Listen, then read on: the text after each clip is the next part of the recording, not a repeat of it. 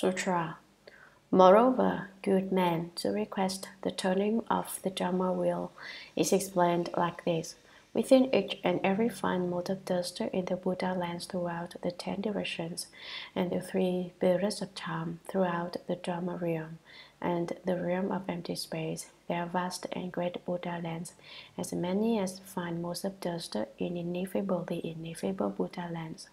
In each and every land, in thought after thought, there are all Buddhas accomplishing equal and right enlightenment. There are number as many as motes of dust in ineffably ineffable Buddha lands. A sea-like assembly of bodhisattvas circumambulates each Buddha, using all manner of skillful means of body, mouth, and mind.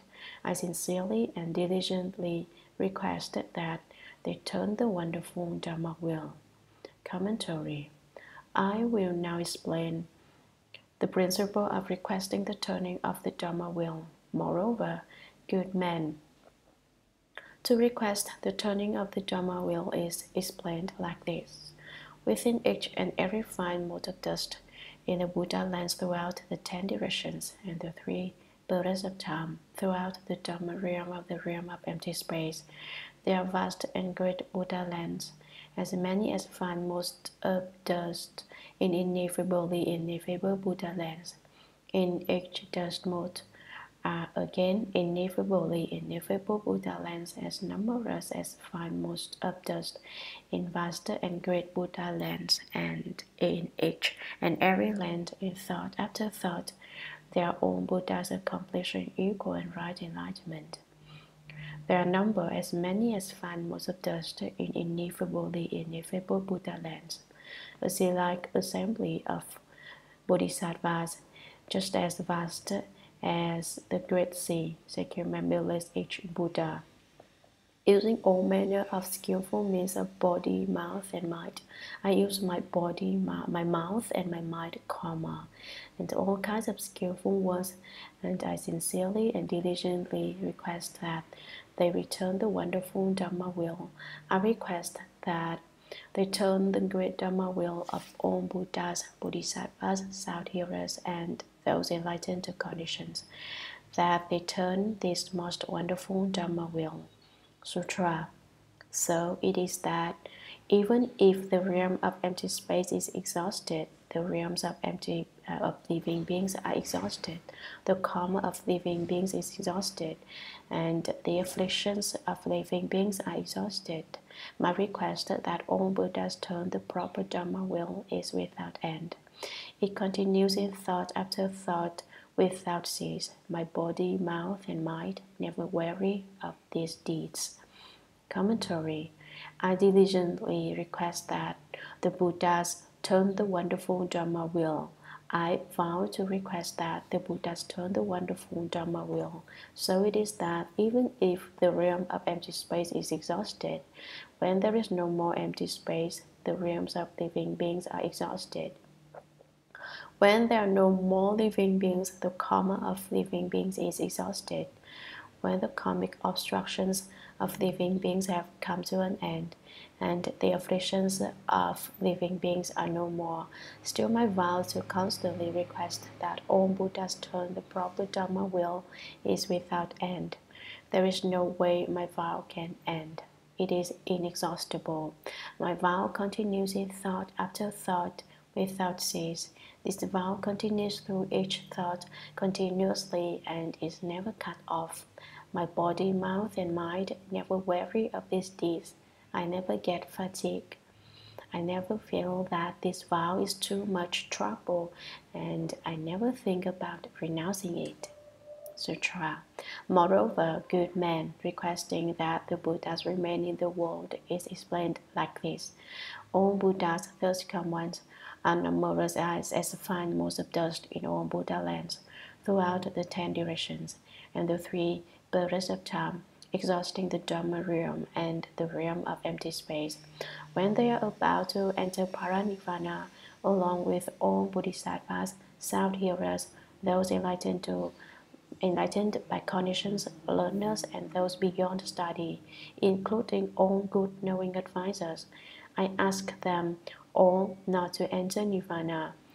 I request that they remain in the world for as many kalpas as they are motes of dust in all Buddha lands, bringing benefit and bliss to all living beings. So it is that even if the realm of empty space is exhausted, the realms of living beings are exhausted, the karma of living beings is exhausted, and the afflictions of living beings are exhausted. Still, my requesting is endless. It continues in thought after thought without cease. My body, mouth, and mind never weary of these deeds.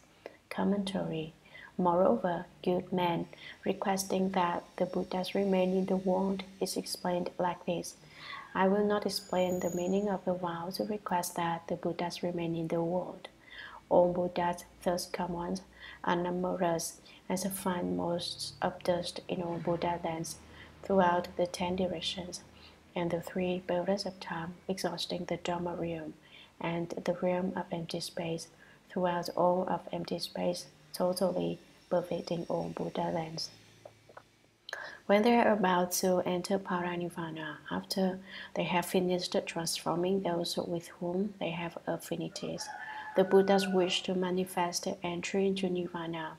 When they're about to enter Nirvana, I will already have requested that they not enter nirvana, but always remain in the world, teaching and transforming living beings. Not only will I ask all Buddhas to dwell eternally in the world, I will also ask the Bodhisattvas, sound hearers, those enlightened to conditions, learners, and those beyond study not to leave the world. Those of the first fruition, the second fruition, and the third fruition are still on the level of learners, whereas those of the fourth fruition are on the level of those beyond study, including all good knowing advisors. Not only will I request all these sages, but I ask all good advisors, Dharma masters, who lecture sutras not to leave the world. In accord with my vow, I ask them all, each and every one of them, not to enter nirvana so quickly. I request that they remain in the world for as many kalpas as there are fine motes of dust in all Buddha lands. I request them to stay with us for a period of time throughout the kalpas as many as all the fine motes of dust in all the Buddha lands bringing benefit and bliss to all living beings. I wish all Buddhas, Bodhisattvas, sound hearers, those enlightened to conditions, and all good advisors will remain forever in the world and bring benefit to all living beings. So it is that I make my vow like this. Even if the realm of empty space is exhausted, basically the realm of empty space cannot be exhausted nor can the realms of living beings be exhausted, nor can the karma, the karmic obstacles of living beings be exhausted. But if even they all could come to an end, my vow to ask all Buddhas, Bodhisattvas, sound hearers, those enlightened to conditions, and good advisors to constantly remain in the world will still be endless. It continues in thought after thought without cease my body, mouth, and mind, never weary of these deeds. My vow is inconceivably firm. Sutra, moreover, good men to always study with the Buddhas is explained like this. I will be like Vairochana, thus come one, of this Sahaja who, from the time he first resolved his mind, never retreated from vigor. He gave up ineffably ineffable numbers of bodies and lives. He peeled off his skill for paper, split his bonds to fashion brushes, drew blood for ink, and wrote out sutras text as high as Mount Sumeru. Because he valued the Dharma, he did not cherish his own body or life. Commentary Moreover, good men, universal worthy again called out to the youth good wealth. What is the meaning of to always study with the Buddhas? It is explained like this. I will now explain it for you. It means to be like Vairochana, the first come one of this Saha world, to be Like means to follow the example and try to be the same as Vairochana Buddha. Saha in Sanskrit, it mean, its meaning is bearable. This wound is very difficult for all creatures to bear, yet they are still able to bear it. How is it that this world is so difficult for all living beings? In this world, everything is suffering, and even the happiness in this world is not real happiness, but is the cause of suffering. All the dharmas in this world are defined and without purity. The world is all bitter and suffering. How is happiness the cause of suffering?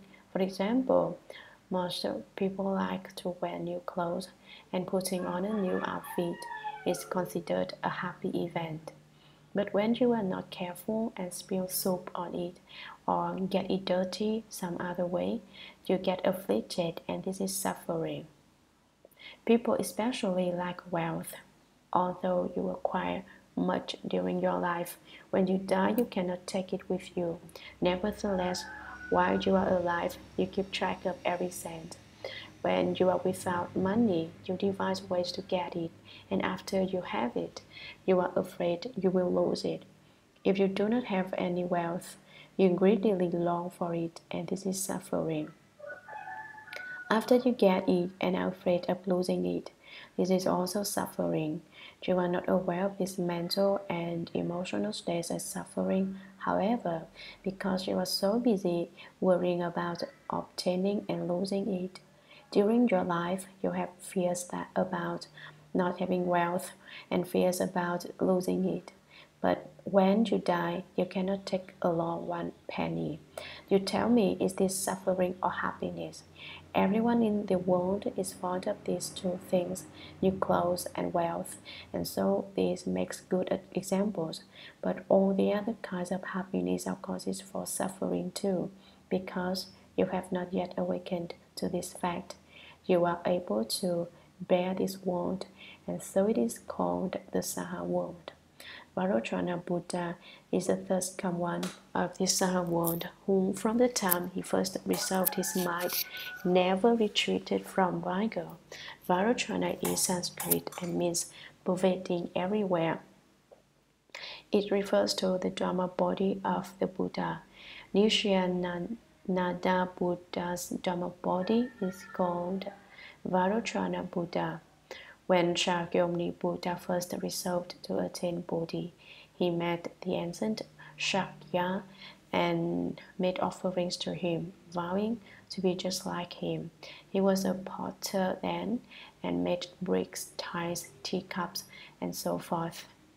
When he saw the Shakya of old, he vowed never to retreat, but to be vigorous in body and mind, day in and day out, and at all time, never to be lax or lazy in his cultivation.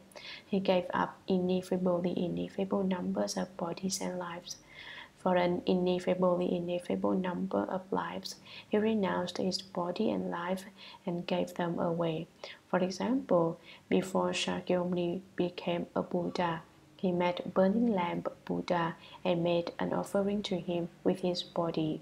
Burning Lamp Buddha, walking along the road, had come upon a large puddle of water. Shakyamuni, seeing an old bhikshu coming, lay down in the water so that the old bhikshu could walk across his body. This is giving one's body using one's body to help others. Most of us would think that Shakyamuni's actions were stupid.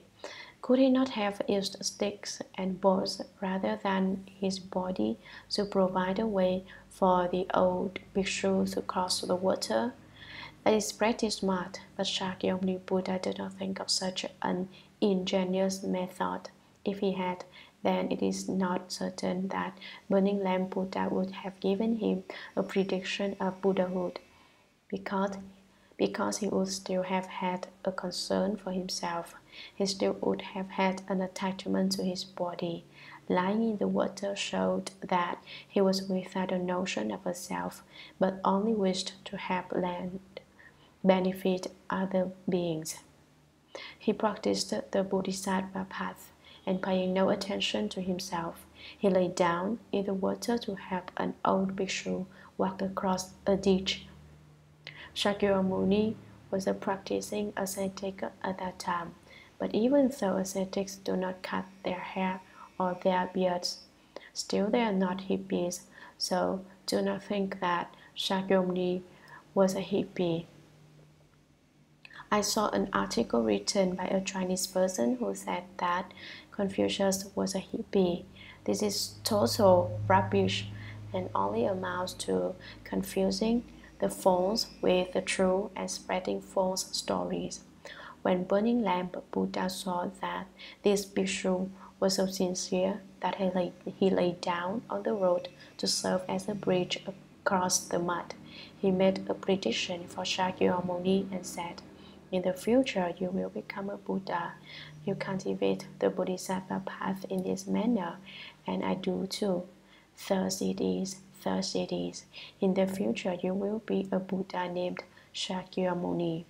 This is how Shakyamuni Buddha practiced on the causal ground, offering up his body and life as gifts. He did this in each life for immeasurable aeons past, continue, continuing until the present, perfecting the Bodhisattva path. Vairochana Buddha is the pure, all-pervasive Dharma body Buddha. Vairochana means to pervade everywhere. The Buddha's Dharma body is both non-existent and not non-existent because there is nowhere that it exists and nowhere that it does not exist. What does it mean to say that there is nowhere that the Dharma body Buddha exists? If we say that there is nowhere that it does not exist, then it is everywhere. But why do we not see it? Since we do not see it, does this not prove that it does not exist? Whether we see it or not, it still exists because it pervades all places. It is said that there is no place where it does exist, and there is no place where it does not exist. It fills up the entire universe to the ends of the Dharma realm.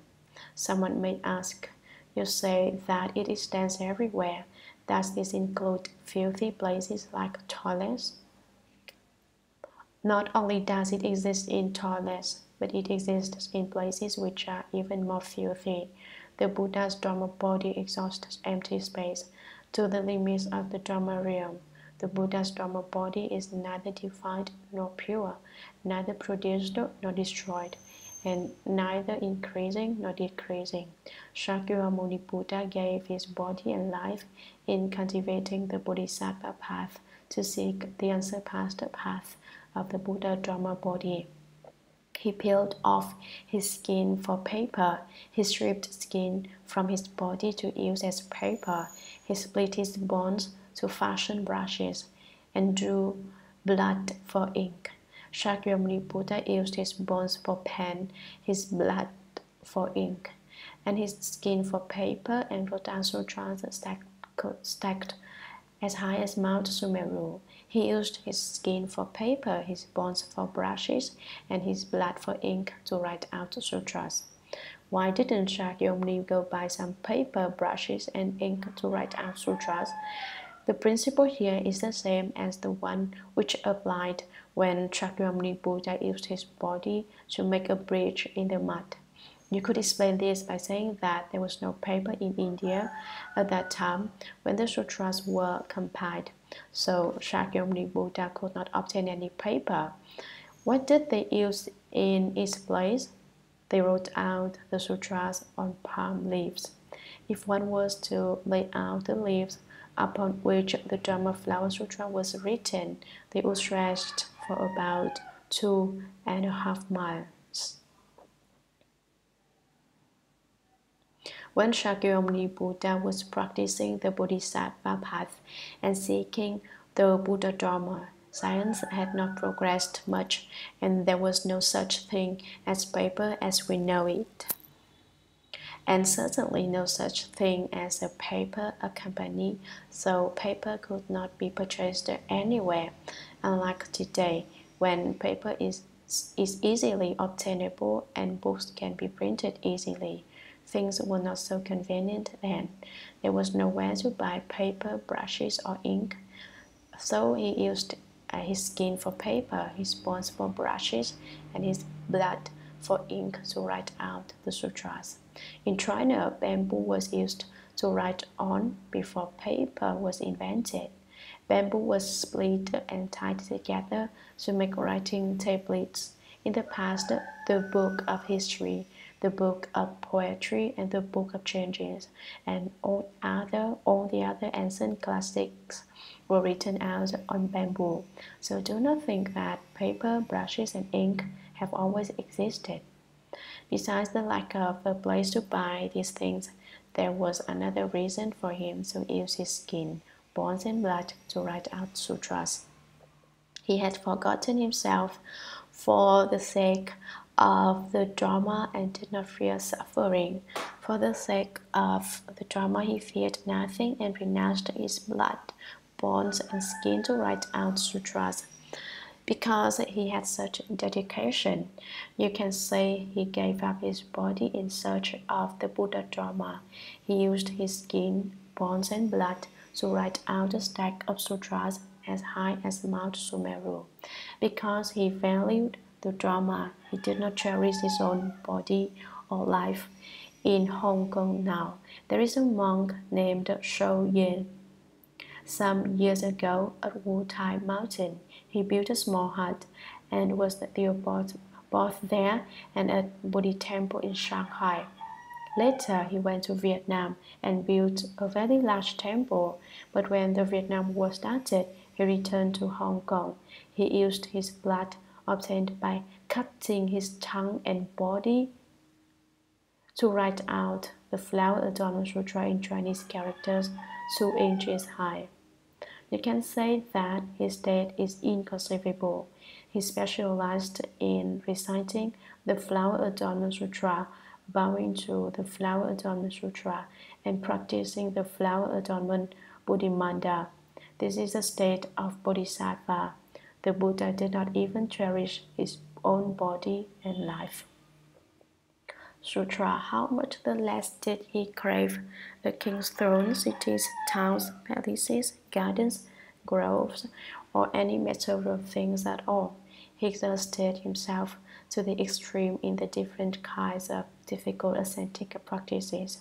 Commentary In his past lives, Shakyamuni Buddha practiced different kinds of difficult uh, ascetic practices and brought forth a great resolve to attain Bodhi for the sake of bringing benefit to all living beings. Therefore, he cherished neither his body nor life, and he did not protect them how much the less did he crave a king's throne. He did not cherish either his body or his life, and so how much less did he wish to become a king. If Shakyamuni Buddha had not left the home life, he would have been a wheel-turning sage king. There are four kinds of wheel-turning sage kings the gold wheel king, the silver wheel king, the copper wheel king, and the iron wheel king. The gold wheel king rules over all four continents